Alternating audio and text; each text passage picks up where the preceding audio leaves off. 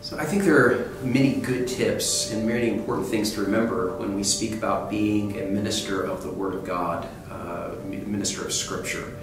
And um, when I think about it, I think about it through really a Trinitarian lens. I think about the importance of keeping in mind the work of the Father, Son, and Spirit in our ministry of Scripture. So first, uh, when we think about Scripture, we need to remember that we are speak when we speak about the Word of God, we are speaking about God's revelation of Himself. So that uh, it is good and right to say uh, when we're teaching, Scripture says. Uh, that's fine. But we should always remember that when we say that, what we are saying even more fundamentally is God is saying this. God has revealed Himself uh, in these ways, that God has um, that, that, God has uh, given his revelation of himself and spoken to us. And that that is intended for a response from us. So I think that's first.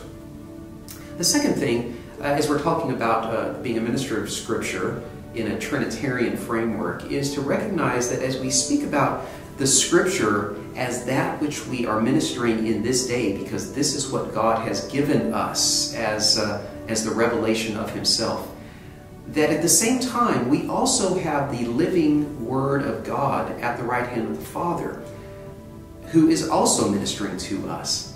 And that, uh, that we circle ourselves around and center ourselves around and focus ourselves, give ourselves to the ministry of Scripture because the living Word of God is working uh, to draw people unto Himself through just the written Scripture, the, the the, Apostle Paul talks about the fact that Jesus, the living Word at the right hand of the Father, is the cornerstone, but that the writings of the apostles and prophets, the apostles and prophets, are the foundation upon which the church is built. And then, third, when we speak about our ministry of Scripture, we need to rec recognize that the, that the Word and the Spirit are always the two agents of God uh, in working with creation. Irenaeus in the second century said that the Word and the Spirit were the two hands of God by which He created and now sustains the world. So that as we are ministering Scripture, the written Word of God, we need to recognize that the Spirit of God is also active in our ministry.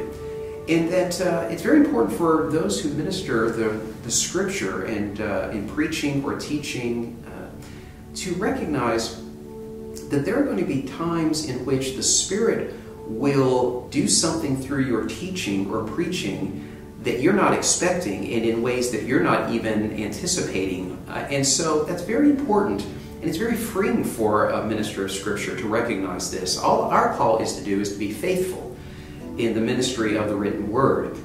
And we can take comfort in the fact that the Spirit is also uh, doing His work in the hearts and minds of those to whom we're teaching.